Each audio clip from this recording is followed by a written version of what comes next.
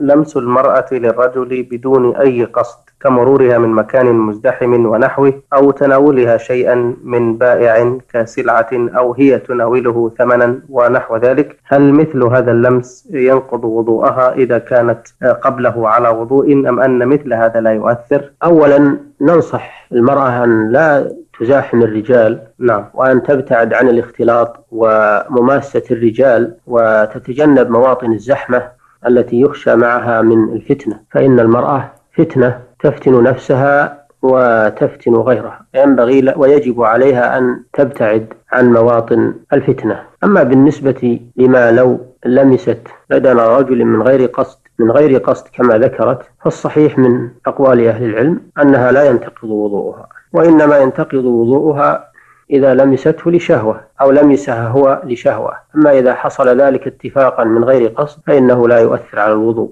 لكن كما ذكرنا المخالطة والمماسة هذه أمور لا تجوز بين الرجال والنساء. نعم.